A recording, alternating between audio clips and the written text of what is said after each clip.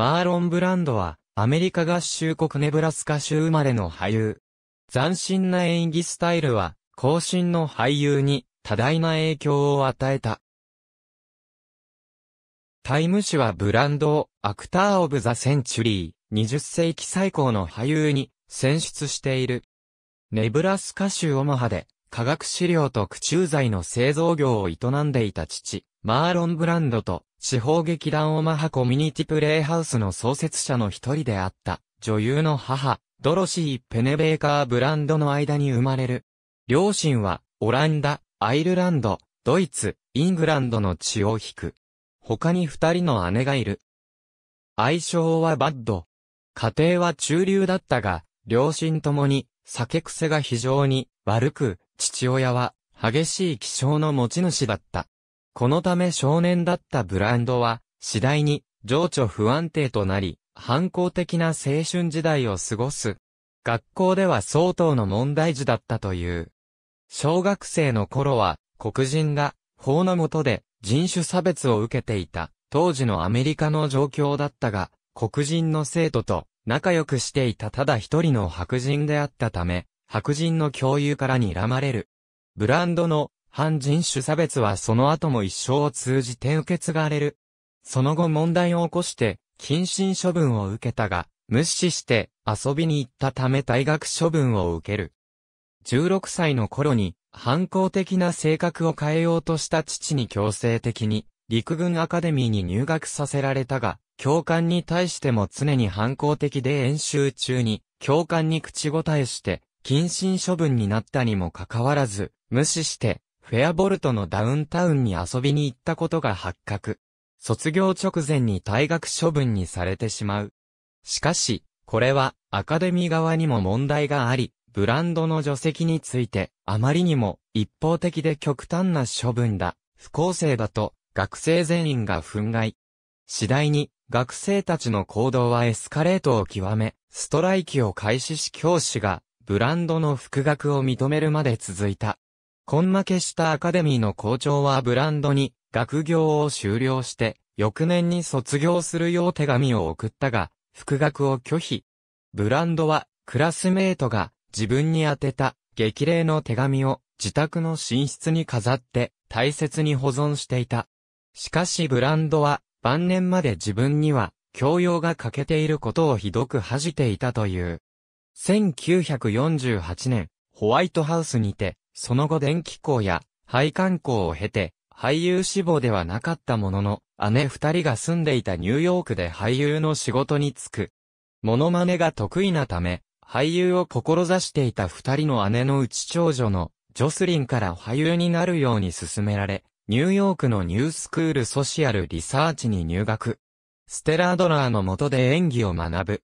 1947年、エリア・カザン演出のブロードウェイの舞台、欲望という名の電車で準主役のソヤで、セクシーな亭主を演じて、注目を集める。1950年、フレッド・ジンネマン監督作品である、男たちで映画初出演。1951年、舞台版と同様に火山が演出を務めた映画、欲望という名の電車で、舞台と同じ亭主の役を演じ、アカデミー主演男優賞賞にノミネートされて、世界的な大スターへ駆け上がる。この時彼が下着を普段着として着用していたことが受け、若者の間に T シャツ文化が広まった。ブランドの演技や服装は演劇においても、映画においても、全く型破りな存在であり、そのメソッド演技法と言われる演技は、賛否両論を巻き起こした。それまで芝居では、タブーとされていた猫背で、ボソボソとした喋り、急に、不機嫌な表情をとったり、はにかんだ笑顔を見せたりといった芝居を始めたのは、ブランドである。ポール・ニューマン、ジェームズ・ディーン、エルビス・プレスリーらの演技に多大な影響を与える。乱暴者で反抗的な若者を演じ、新しいタイプのスターとして注目を浴びる。イギリスなどでは、この映画は反社会的とされ上映が禁止されたが、ブランドの革ジャンとジーンズでオートバイにまたがる写真を見た世界中の若者が、そのスタイルを真似るようになる。そんな若者の中には、エルビス・プレスリーやビートルズなど、後に有名になる者もいた。1954年に、カザンの波止場で港湾労働者を演じ、ついに初となるアカデミー主演男優賞を獲得し、名実ともにトップスターになる。しかしながら、翌年には、育ての親とも言える火山の大作、エデンの東の主役のオファーを蹴った。これは火山が、当時アメリカを吹き荒れていた赤狩りの追求に負けて、同じような要求的な仲間を、ジョセフ・マッカーシー率いる、非米活動委員会に告発したことに対して、憤慨していたからという。この映画で、ジェームズ・ディーンがスターとなった。1963年、ワシントン大行進にてハリウッドに入った頃から、自分が気に入った脚本の第一級の作品にしか出ないことで知られていたが、父の投資の失敗の穴埋めのために現金が必要となったことから、1960年代に入ると、内容のない作品にも多数出演するようになった。さらに様々なトラブルを起こしていたことから映画会社や監督らから嫌われ、俳優としての評価もギャラも下がっていった。1967年にフランスの植民地であるタヒチ諸島のテティアロア干渉を所有してからは、役者家業を島の環境維持の資金稼ぎと割り切るようになる。同年、コメディ色が強いチャールズ・チャップリンの映画、伯爵夫人の主演者として契約。チャップリンが自宅へ招き、自ら実技指導をしてくれるが本人は居眠りをし、撮影中も、チャップリンと口論となり映画は、失敗に終わる。共演者のソフィア・ローレンからも、彼はコメディに不向きと評される。ちなみに、ブランドによるローレン票は、彼女は息が臭かったであった。しかし、1972年のラストタンゴ・イン・パリとゴッドファーザーで再び第一線に復帰し、ハリウッドですでに過去の人と思われていたブランドはトップスターとしての名声を取り戻す。ゴッドファーザーの老け役ではアカデミー主演男優賞に選ばれ、以降は個性が一変する。1974年のゴッドファーザーパーシアイにもオファーされるが、前作の出演時にはベテランであるにもかかわらず、オーディションを受けた上、屈辱的な契約であったことを忘れていなかった。ブランドは巨額のギャラを要求。結局折り合わず、制作者は、ブランドの起用を断念し、脚本も大幅に書き直させた。1975年のミズーリブレイクからは、少ない出番で莫大なギャラと収益の一部を得ることが出演条件となっていった。地獄の目視録、DNA、ブレーブなどの不気味な役柄など、性格俳優的な一面も見せ始めた。特に、地獄の目視録では暗殺される、カーツ大佐を演じたが、原作、脚本のキャラクターに全くそぐわない100キロを超える体重と外見、法外なギャラ要求と契約、演技態度などにより、コッポラ監督を悩ませた。だが重鎮としての存在感で圧倒し、おいてもなお、カリスマ的な言動と、ベールに包まれた、私生活で常に話題となる存在であり続けた。1978年のスーパーマンでは、世界一ギャラの高い俳優として、ギネス記録に残る伝説を生み出した。なお、この映画は、ブランド自身が出演を熱望したものである。ブランドの子供が、スーパーマンの愛読者であったため、子供が喜ぶであろうと考えたゆえの行動であったが、スケジュールの都合上、撮影のための拘束期間はわずか12日間で当時、最高額の370万ドルのギャラと収益の11.75%を得ることを条件とする契約であった。映画は大ヒットし、ブランドは冒頭わずか約20分の出演で1400万ドルという破格のギャラを手にした。オーソン・ウェルズやエルビス・プレスリー、エリザベス・テイラーなどと同様、若い頃から強いストレスを受けると過食に走る傾向があったが、ご半生に入るとそれに一層拍車がかかり、120kg を超えた肥満体がブランドのトレードマークになってしまった。晩年でも2枚の特大ステーキを平らげたという。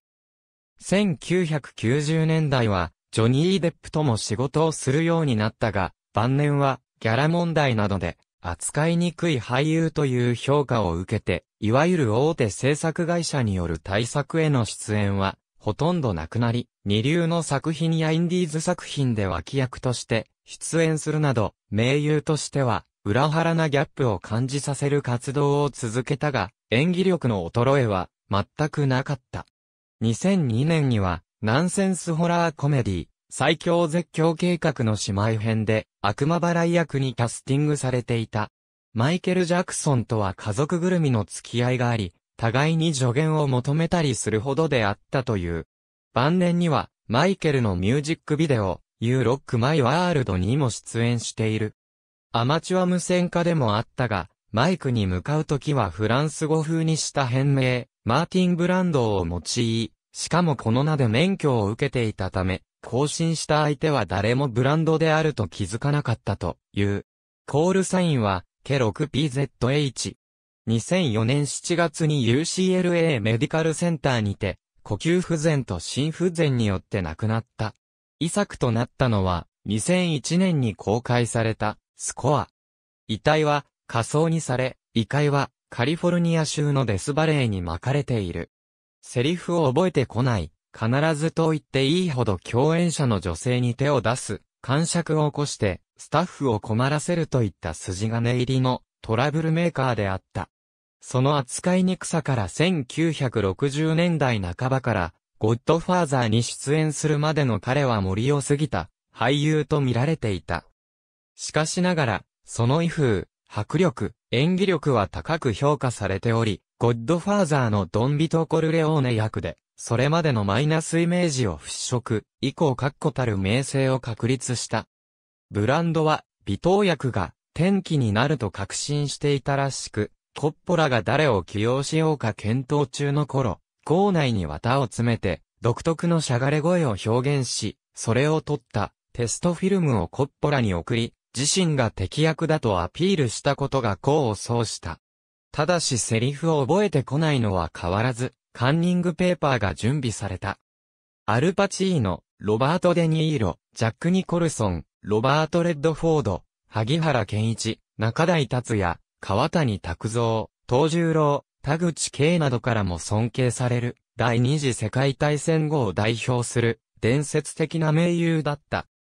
ワシントン大行進で、チャールトン・ヘストン、ジェームズ・ボールドウィンと共に、ブランドが若い頃のアメリカ国内においては非白人に対する人種差別が合法とされ、人種差別が公然と行われていたが、そんな中でも、ブランドは非白人の恋人や愛人が多いことでも知られており、最初の妻はインド系であった。